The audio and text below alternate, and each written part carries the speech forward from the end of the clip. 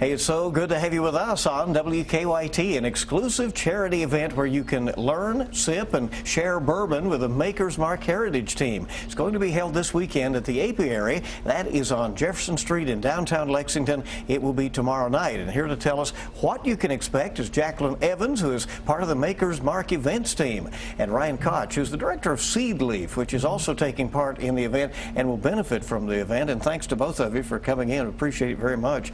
Uh, Ryan, Uh, tell us first of all about Seedleaf and what it does. Yeah, so the mission of Seedleaf is to nourish communities by growing and sharing food.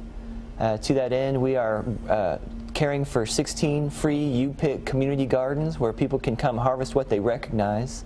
Um, and we're also doing an extensive uh, compost program with the Division of Waste Management. So these gardens are in an urban setting right here in Lexington, just uh, placed around town. That's right? right. In the in the north side of Lexington, where we've seen so many diet-related health problems, we're just trying to address the food insecurity problem here um, by making food for our neighbors. And Jacqueline, you found a fun way to pull that off, right? Absolutely. Tell us about the big event. Well, it's uh, Meet Your Makers Makers.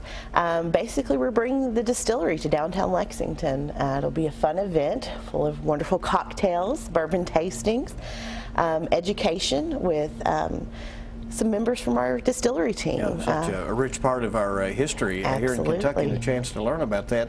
And uh, the event is going to be, again, Friday night, 6.30 until 9.30, $65 a person, keeping in mind that the proceeds of that will go to Seedleaf.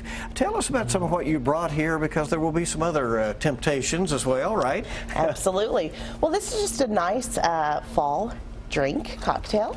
Um, this is hot buttered bourbon cider. Uh -huh. um, and this is apple cider, a little bit of butter, cloves, uh, cinnamon sticks. Warm that up, add a little bit of Maker's 46 and garnish it with some rosemary and you have a a lovely cocktail. So that'll be one of the things that you'll uh, be talking about? Absolutely. Uh, do folks need the tickets ahead of time? Yes, they do. Tickets do need to be purchased in advance uh, through Eventbrite.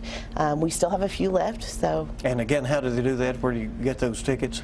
Uh, through Eventbrite. Okay, Eventbrite. And seedleaf.org is where you can mm -hmm. find out more uh, about the good works that uh, Ryan is involved in. Thanks for coming.